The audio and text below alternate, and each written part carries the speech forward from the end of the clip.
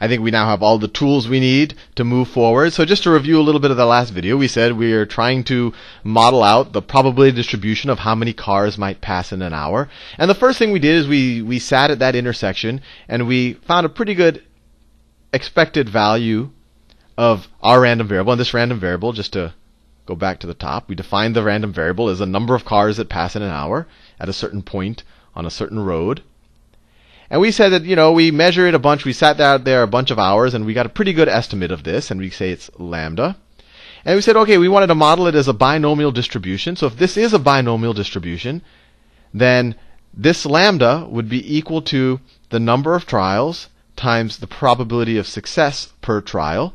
And so if we could view a trial as an interval of time, this is the total number of successes in an hour. Success in hour. And then, so this would be success in a smaller interval, in interval, and this would be the probability of success in that smaller interval. And in the last video, we tried it out. We said, oh, well, what if we make this interval a minute, and this is the probability of success per minute? We'd have a, maybe a, a, reasonable description of what we're describing. But what if more than one car passes in a minute? And they said, oh, well, let's make this per second, and this is the probability of success per second. But then we still have the problem more than one car could pass in a second, very easily. So what we wanted to do is we want to take the limit as this approaches infinity, and then see what, what kind of, uh, of, of formula we get from the, the math gods. So if we describe this as a binomial distribution with the limit as it approaches infinity, we could say that the probability that x is equal to some number, so the probability that our random variable is equal to I don't know, three cars in a particular hour, exactly three cars in an hour, is equal to, oh, we want to take the limit as it approaches infinity, right? The limit as n approaches infinity of n choose k, right? We're going to have k moments in time, right? Because n approaches infinity, these intervals become super, super duper small, right? So these become moments in time. So we have uh, we're going to have close to an infinite number of moments, and this is the number of successful moments where cars pass. If we have three moments where cars, car, where there, where there was a success, where a car passed, then we had a total of three cars pass, right? Or seven cars, seven moments where it was true that a car passed, and we would have total seven cars pass in the hour. So just finishing up with our binomial distribution, n moments choose k successes times the probability of success. What's the probability of success? We said if this is so this would be, you know, if n is, so this would be n, what's p equal to? p is equal to lambda divided by n, right? n times p is lambda, so let me just write that down. p is equal to lambda divided by n. I just rearranged this up here, right? So our probability of success is lambda times n. Lambda times n. And we're saying what's the probability that we have k successes? And then, what's the probability that we have a failure? Well, it's 1 minus the probability of success. And how many failures are we going to have? How many moments will not have a car pass? Well, we have total of n moments, and k of them were successes. So we'll have n minus k failures. Let's see what we can do with this. So this is equal to, let me rewrite it all, and I'll change colors. The limit as n approaches infinity let me write out this binomial coefficient. That's n factorial over n minus k factorial times k factorial. Normally I write these the other way around, but it's the same thing. Times, let's see, lambda to the k. I'm just using my exponent properties over n to the k. And then this expression right here, I can actually separate out the exponents. This is the same thing as 1 minus lambda over n to the n times 1 minus lambda over n to the minus k, right? You have the same base, you could add the exponents and you would get this up here. And let me simplify a little bit more. Let me let me swap spots with these two, right? They're they're both you can kind of view them both as being in the denominator, so you can change the order of division or multiplication depending how you view it. So this is equal to the limit let me switch colors the limit as n approaches infinity, I don't like that color, of, well, what was, let's, let's, let, actually, let me just rewrite what we did in the last video. What is this thing right here? And we showed it at the end of the last video. n factorial divided by n minus k factorial. It was n times n minus 1 times n minus 2 all the way to n minus k plus 1, right? If this was 7 over 7 minus 2 factorial, we would have 7 times 6, right? And 6 is 1 more than 7 minus 2. So that's where we got that. And we did that in the last video if you're getting confused. And we also said that there's going to be exactly k terms here. So if you counted these as 1, 2, 3, all the way there's going to be k terms here. And so that we took care of that. We just rewrote that. And I said I would switch these two things around. So that's divided by divided by n to the k n to the k times I'm just switching these lambda to the k over k factorial over k factorial and then what do we have here? We have well I can just rewrite that this is continuing the same line. 1 minus lambda over n to the n times 1 minus lambda over n to the minus k. Now we can take the limit. So what happens when we take the, the so just you know if you take the limit, this is another property just so you don't get too overwhelmed. Another property of limits, if I take the limit as x approaches anything, a of f of x times g of x, that's equal to the limit as x approaches a of f of x times the limit as x approaches a of g of x, right? So we could take each of these limits in the product and then multiply them, and then we'll, be all set. So let's do that, and I want to leave this stuff up here. So first of all, what's this limit? Let me write this out. And let me pick a good color.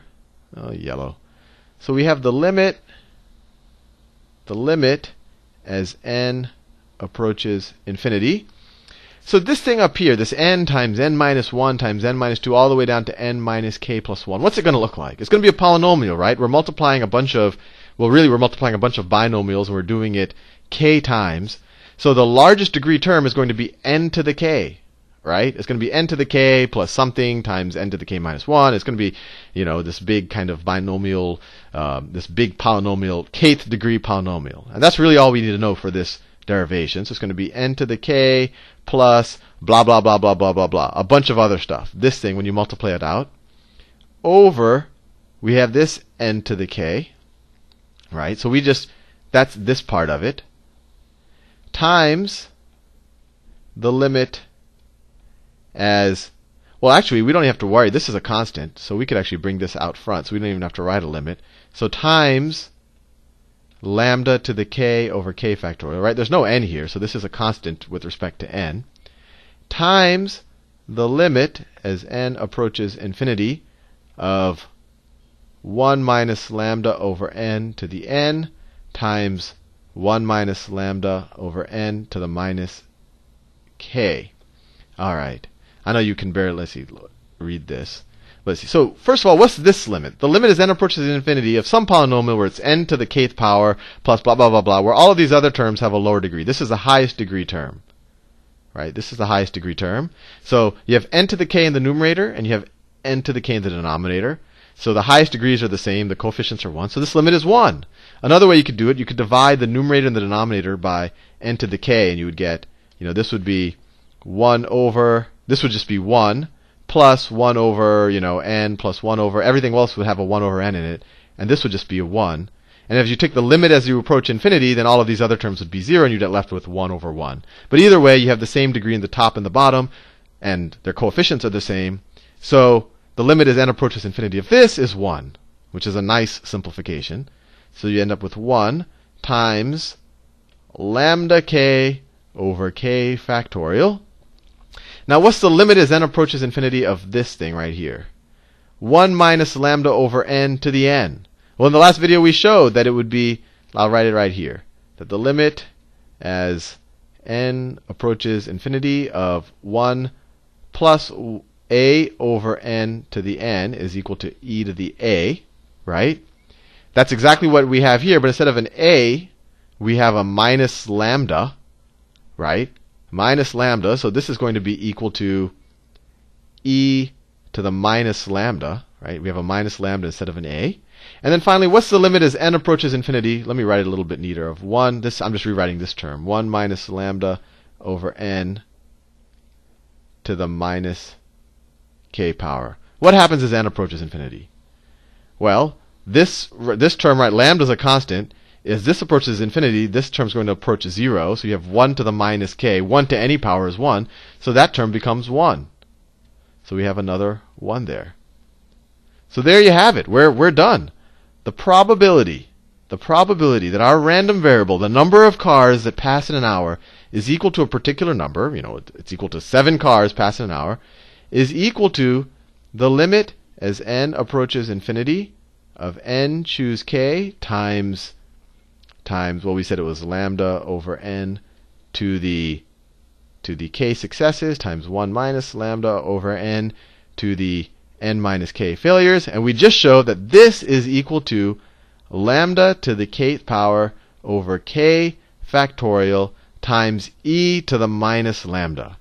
And that's pretty neat because when you just see it in kind of a vacuum, if you have no context for it, you wouldn't guess that this is in any way related to the binomial theorem. I mean, it's got an e in there, it's got a factorial, but you know, a lot of things have factorials in life, so not clear that that would make it a binomial theorem. But this is just the limit as you take smaller and smaller and smaller intervals, and the probability of success in each interval becomes smaller. But as you take the limit, you end up with e. And if, if you think about it, it makes sense because one of our derivations of e actually came out of compound interest, and we kind of did something similar there. We took smaller and smaller intervals of compounding, and over each interval we compounded by a much smaller number, and when you took the limit, you got e again. And that's actually where that whole formula up here came up came from to begin with. But anyway, just so that you know how to use this thing, so let's say that I were to go out, I'm the traffic engineer, and I figure out that on average, nine cars pass per hour nine cars pass. And I want to know the probability.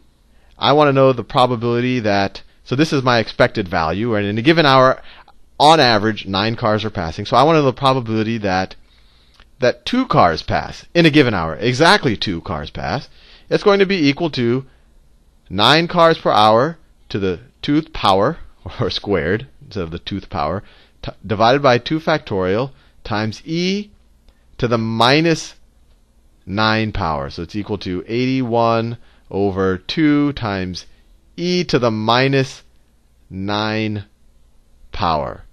And let's see, maybe I should just get the graphing calculator out there. Well, I'll, I'll let you do that exercise to figure out what that is. But I'll see you in the next video.